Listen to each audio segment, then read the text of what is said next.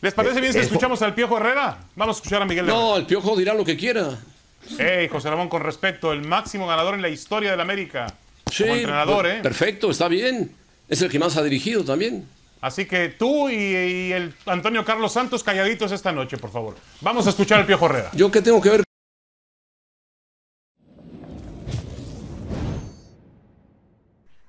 La verdad hoy me tengo que ir eh, no tranquilo. Sumamos tres puntos muy conscientes de que nos sirven, pero no tranquilo porque el equipo no jugó bien. Fuimos certeros, fuimos un equipo que tuvo la- las posibilidades y las concretó, pero nos está faltando tener volumen de juego, ¿no? Esa es la realidad. Estamos muy conscientes de eso.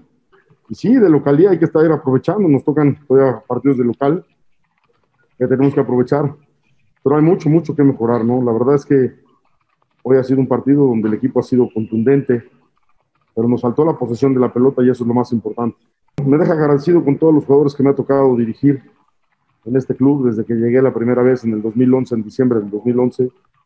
Entonces, contento, contento con cada uno de ellos por el esfuerzo, por la determinación que han puesto, por tener el éxito que ellos consiguen dentro de la cancha, por su quehacer, por su contundencia, por conseguir los logros que hasta el día de hoy se han dado y agradecido con ellos nada más. Son estadísticas, a ustedes les sirven los números, estoy contento, pero, pero por nada más por el triunfo hoy, ¿no? La verdad es que no es, no es nada elocuente. Seguiremos sumando, lo importante es ganar títulos acá. Las victorias suenan, pero los títulos son los que realmente dan los blasones. ¿no? Bueno, Bueno, ahí está Miguel Herrera. Faitelson, fíjate bien, dijo algo muy importante, una frase muy importante dijo el Piojo, quitando los elogios de los partidos, de los jugadores, de los triunfos que ha obtenido, de cómo obtu- obtuvo el triunfo, dijo, nos falta volumen de juego. Es lo que le falta a la. América. Y posesión de juego, no lo posesión tiene. de balón. Hoy posesión tampoco la tuvo y ganó el partido. Está bien, pero le pues falta el volumen.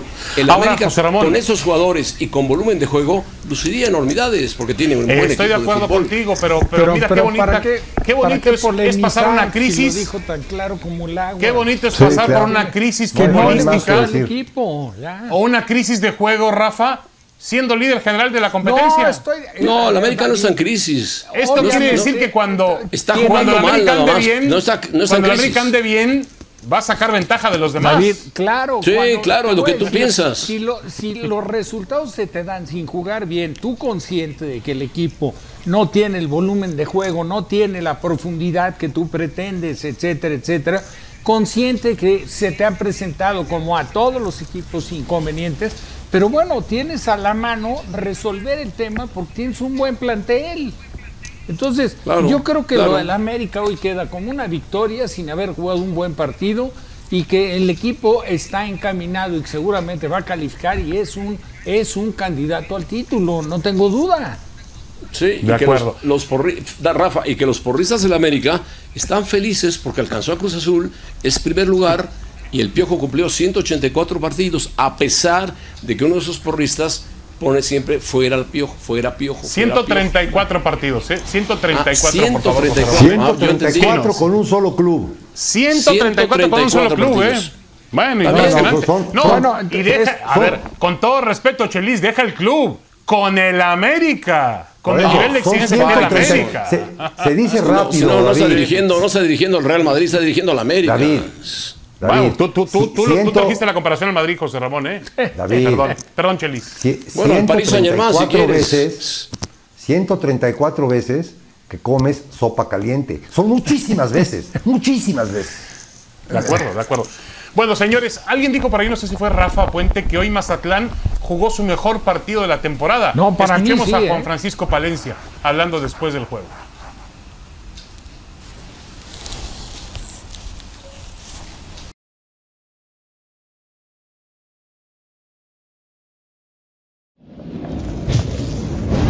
Fueron 10 minutos de, un desconcierto de nosotros, de errores que, no debíamos de haber cometido, pero el equipo no se cayó. Eh, difiero con lo que dices tú, que el equipo se cayó. El primer tiempo tuvimos muchas ocasiones de gol, no las concretamos, desafortunadamente no estuvimos atinados. Y después del, del tercer gol, creo que el equipo siguió insistiendo, siguió provocando jugadas de gol, con centros, con disparos.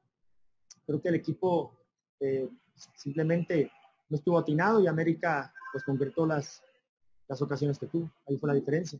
No, yo creo que ah, Rachi es una persona una- bastante fuerte mentalmente. Fue un error eh, posicional que tuvimos. El arquero no debería de estar ahí donde estaba y, y, y Aldo eh, cuando se posiciona, se posiciona tarde donde debe estar. Pero fue un error posicional, ¿no? Porque después de eso él siguió pidiendo la pelota, siguió teniendo la pelota, siguió dando circulación, lo que le pedíamos, entonces en ningún momento se cayó, él siguió adelante con, el, con, el- con las consignas que tenía. Bueno, ahí están las reacciones del eh, América mm, eh, 3, Mazatlán 1. Le vienen ahora al América unas, eh, un calendario bastante, bastante interesante.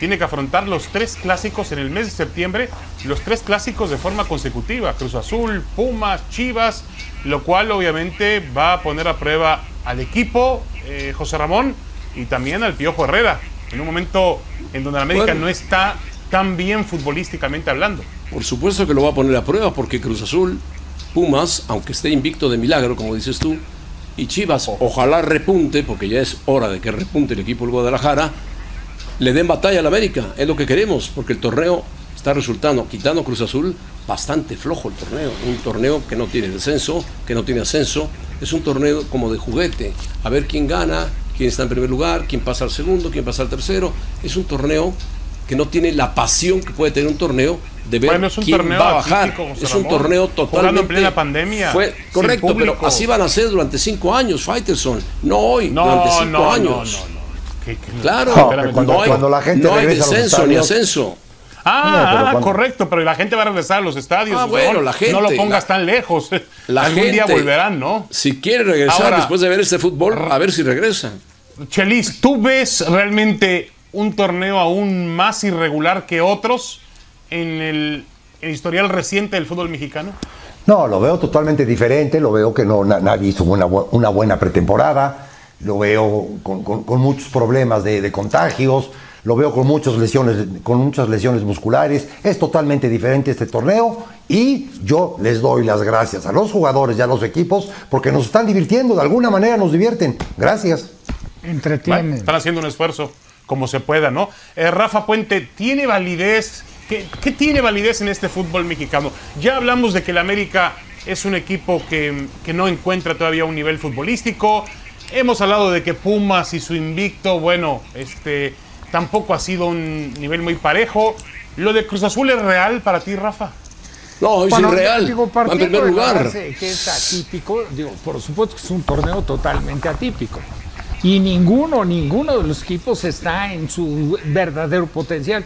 Quizás el que menos lo reciente, que fue el que mejor terminó el torneo que se suspendió por, por el inicio de la pandemia, es Cruz Azul. Cruz Azul, y lo ha claro. reflejado en estos partidos, que también ha rescatado algunos partidos sin haber hecho un gran fútbol y con una buena dosis de fortuna, ¿no? Que, esto va acompañado generalmente en todo. Ahora, que este, este nivel que está ofreciendo el fútbol mexicano no es no quiero decir que esté muy muy lejos de la realidad del potencial que se exhibe en todos los torneos sí creo que está por debajo sigue siendo inconsistente irregular y veo y veo a Cruz Azul como el equipo más que se ha adaptado mejor a las circunstancias con las que se está jugando y quien está ofreciendo, eh, la verdad, un funcionamiento colectivo mejor que los demás contrincantes. ¿no?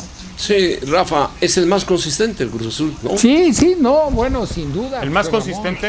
Y además está peleando contra su propia pandemia, Pero- o pero su propia crisis, un o su propio virus, ¿no? Interno, Eso, ¿no? eso es otra cosa, es otra cosa.